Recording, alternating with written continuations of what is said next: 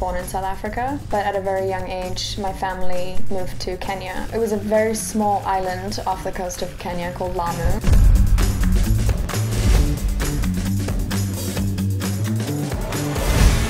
I was born in Nashville, Tennessee, and my mom was a country artist. So at like 10, I wrote like I think my first song, and um, I've just been writing music ever since.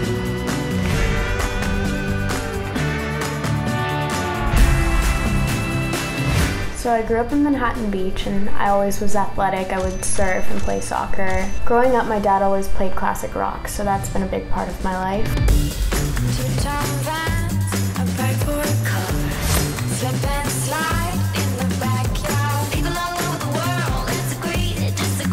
I grew up in a very creative family, and so I've always been surrounded by everyone just playing music all the time. Groups of people, the tribal people, just sitting and playing the drums and singing, and that's when I decided that's what I wanted to do.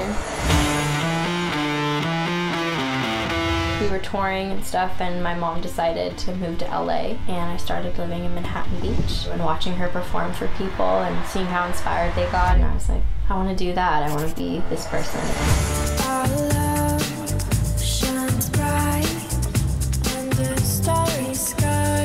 So ever since I was young, I would always write poems. When I learned how to play guitar and when I started singing, I just grabbed my poems and put them to the music, and it just worked.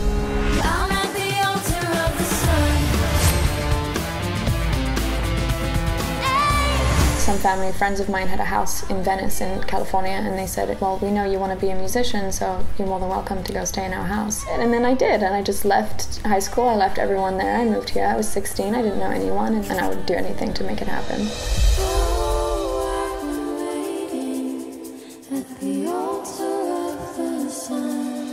Well, we met at Rock Mafia, the studio, and we were all there on individual things, working on our own personal projects. When I was in the studio once, I met Ruby, and I was wearing a very inappropriate shirt. And I was like, oh my gosh, I love your shirt. And we got along really, really well, and then I'm pretty sure I spent like the whole week at our house after that. Yeah, we just started, we like instantly met, and we just started writing music. And actually the first song we wrote was Wild Ones.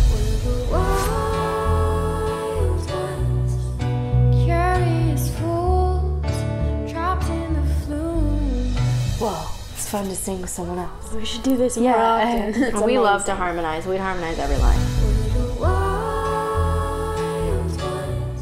And we were asking Ruby like how to say things in Swahili, and we are like, "How do you say this? How do you say that?" Some cuss words and stuff. But then we were like, "How do you say ocean?" And she was like, "Bahari."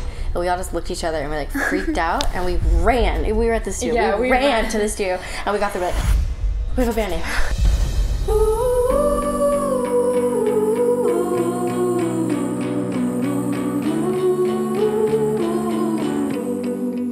all grew up by the ocean. It's been a huge impact in our life.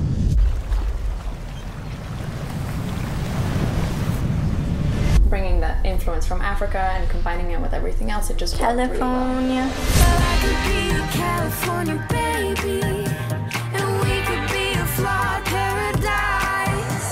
The whole entire world sees California as this nostalgic, magical place where people come from all over the world to pursue their dreams.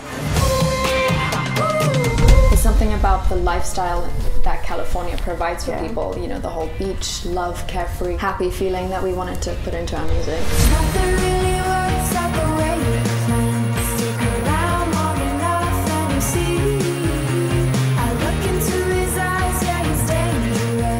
What we want to hopefully do is create music for people that makes them feel something. It doesn't Yeah. have to be tied down to a specific sound. It's Make music, emotional. That's it's what it's so about. many different things. It's Yeah. vibey. I'm sorry, I didn't mean to laugh. you just almost started to laugh, and I was like, I have to look away.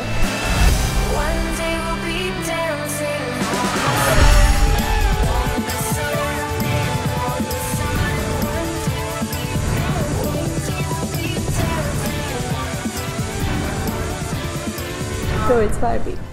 It's vibey.